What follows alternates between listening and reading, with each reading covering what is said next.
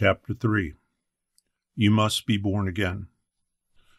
Now there was a man of the Pharisees named Nicodemus, a ruler of the Jews. This man came to Jesus by night and said to him, Rabbi, we know that you are a teacher come from God, for no one can do these signs that you do unless God is with him. Jesus answered him, Truly, truly, I say to you, unless one is born again, he cannot see the kingdom of God. Nicodemus said to him, How can a man be born when he is old? Can he enter a second time into his mother's womb and be born? Jesus answered, Truly, truly, I say to you, unless one is born of water and the Spirit, he cannot enter the kingdom of God. That which is born of flesh is flesh, and that which is born of the Spirit is spirit. Do not marvel that I said to you, You must be born again. The wind blows where it wishes, and you hear its sound, but you do not know where it comes from or where it goes. So it is with everyone who is born of the Spirit. Nicodemus said to him, How can these things be? Jesus answered him, Are you the teacher of Israel, and yet you do not understand these things? Truly, truly, I say to you, we speak of what we know, and bear witness to what we have seen, but you do not receive our testimony. If I had told you earthly things and you do not believe, how can you believe if I tell you heavenly things? No one has ascended into heaven except he who descended from heaven, the Son of Man. And as Moses lifted up the serpent in the wilderness, so must the Son of Man be lifted up, that whoever believes in him may have eternal life. For God so loved the world that he gave his only Son, that whosoever believes in him should not perish, but have eternal life.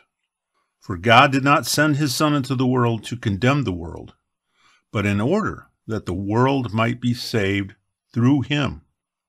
Whoever believes in him is not condemned, but whoever does not believe is condemned already, because he has not believed in the name of the only Son of God. And this is the judgment. The light has come into the world, and people loved the darkness rather than the light because their works were evil. For everyone who does wicked things hates the light and does not come to the light, lest his works should be exposed.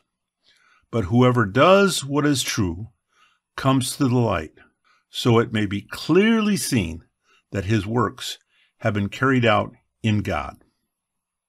After this, Jesus and his disciples went into the Judean countryside, and he remained there with them and was baptizing. John also was baptizing at Aenon near Salim, because water was plentiful there, and people were coming and being baptized. For John had not yet been put in prison. Now a discussion arose between some of the John's disciples and a Jew over purification.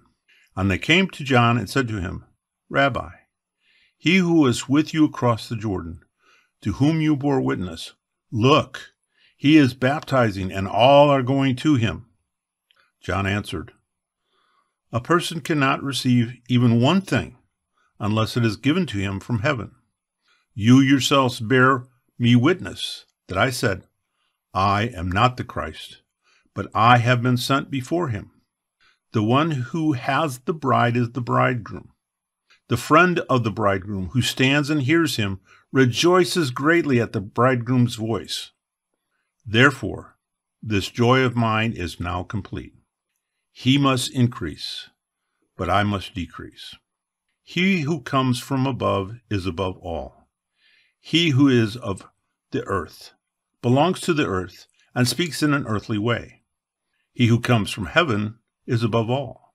He bears witness to what he has seen and heard, yet no one receives his testimony. Whoever receives his testimony sets his seal to this, that God is true.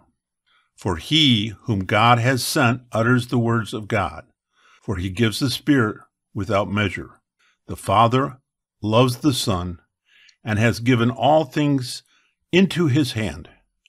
Whoever believes in the Son has eternal life. Whoever does not obey the Son shall not see life, but the wrath of God remains on him.